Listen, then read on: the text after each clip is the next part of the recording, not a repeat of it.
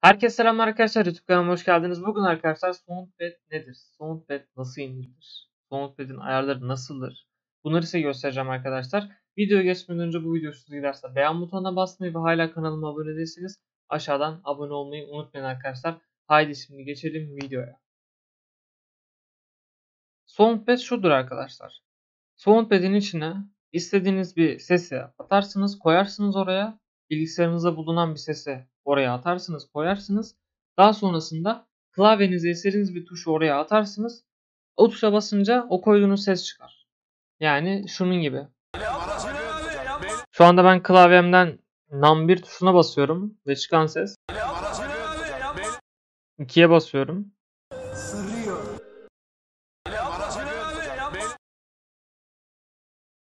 Olay bu arkadaşlar. Vallahi efsanevi bir program. Yayın yapan video çeken arkadaşlar için efsanevi bir program cidden. Ya da şu dostlarım için de efsane bir program.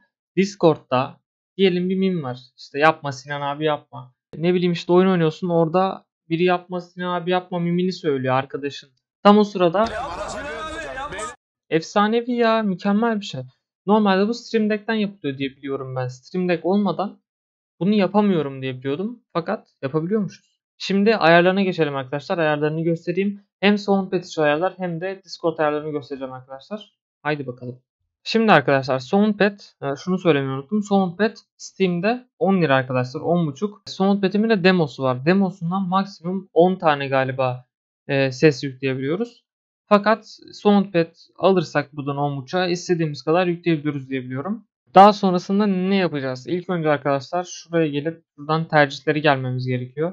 Buradan cihazlar kısmından çalma aygıtını kulaklığınız neyse onu seçmeniz gerekiyor arkadaşlar. Buradan da mikrofonunuz neyse onu seçmeniz gerekiyor.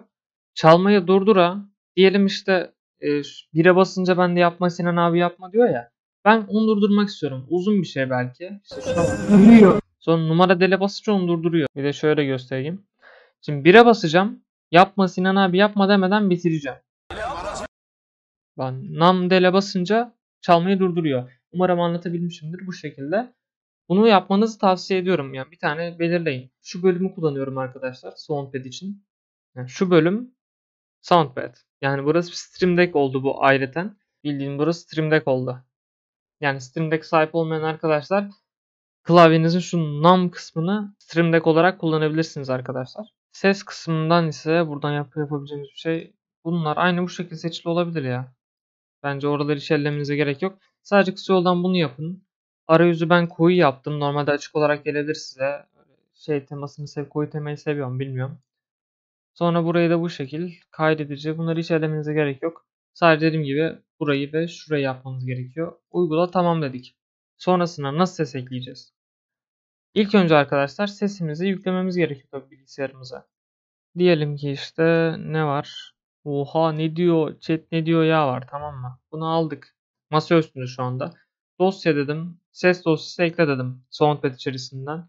Buradan masa üstüne geldim. Şuradan Oha ne diyor? Chat ne diyor ya bulmamız gerekiyor. Evet bulamıyorum. Ha buldum. Oha ne diyor? Chat ne diyor ya bulduk. Tamam mı? Bunu buraya ekledik. Sağ tık yaptık. Kısa yol tuşunu ayarla dedik. Bunu neye atayabilirim ben şu anda? 3 ee, boş galiba 3'ü atadım. Tamam dedim. 3'e basınca bu çalacak. Oha ne diyor? Namdel'e bastım durdu mesela. Bu devam ediyor normalde. Bir de böyle göstereyim. Oha ne diyor? Bunu e, Namdel ben atadığım için böyle. Siz neyi atadıysanız o olacaktır. Oha ne diyor? Chat ne diyor ya? Böyle bir şey olabilir mi ya? Ve ve arkadaşlar son bir ayar kaldı. Discord ayarı. Soundpad'deki gelen sesin Discord'da duyulmasını istiyorsak bu ayarları yapmamız gerekiyor. Ben bu ayarları yaptım. Oldu. Yani sorun yaşamadım. Gürültü azaltmayı kesinlikle kapatmamız gerekiyor arkadaşlar. Bir gürültü azaltma. bir de yani başka bir şey yok. Buradan bunların seçildiğine emin olun. Yani Soundpad'de mikrofonunuz ve hoparlörünüz ne seçiliyse Discord'da da mikrofon ve hoparlör o seçili olması gerekiyor. Bunlara ve e, şeye dikkat edin. Gürültü azaltmaya dikkat edin arkadaşlar. Bu şekilde arkadaşlar istediğiniz sesleri, istediğiniz klavyenizdeki istediğiniz tuşları atayabilirsiniz. Soundpad budur. Bu şekilde kullanılır. Steam'den de satın alınır. Bu videoyu izleyen arkadaşlar çok teşekkür ediyorum. Bu video hoşunuza gittiyse beğen butonuna basmayı ve hala kanalıma abone değilseniz abone olmayı unutmayın arkadaşlar. Bir sonraki videolarda görüşmek üzere. Hoşçakalın. Kendinize çok çok iyi bakın. Bay bay.